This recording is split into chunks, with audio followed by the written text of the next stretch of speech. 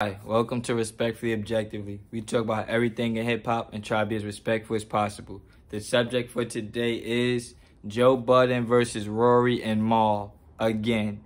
If you don't know, bro, Joe Budden, Rory, and Mal been going back and forth for like the last two, three weeks, throwing shots at each other. Not even subliminal shots, just straight up shots, like straight bombs away. Like, I don't like this, bro. This is wild corny to me. I don't like this. Me, I've been a long time Joe Budden podcast fan. I think the Joe Budden podcast with Rory and Mal is the greatest podcast of all time. Gangster, that has so much knowledge in it. It gave you so much details about the music industry, about life, great moments, everything about it, bro. I feel like that was really one of the best podcasts of all time. So to see them beefing with each other, even though they went their separate ways, is wild corny to me. Wild corny to me.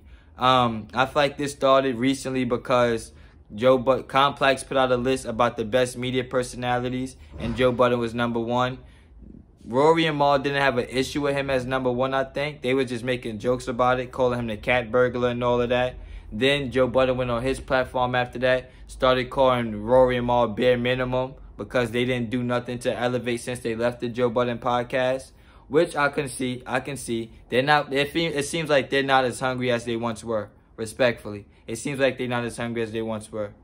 But the thing with Joe Budden is like, all right, Joe Budden now has a new podcast, right? He has his new podcast, but now it's Queens Flip, Melyssa Ford, Ice, Ish, and Still Parks is on there. This is like the third time Joe Budden has had a new cast. The third time he's had a new cast. That's not a lot of consistency. I'm not gonna lie, that's not a lot of consistency. And that's six different mics.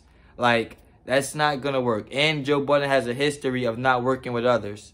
Him and Total Slaughter did not work out. Him and Rory and Mal did not work out. I don't know what happened with him and Revolt, but State of Culture did one season, two seasons, and stopped. Him and Complex didn't work out. So he has a history of not working well with others to a certain extent.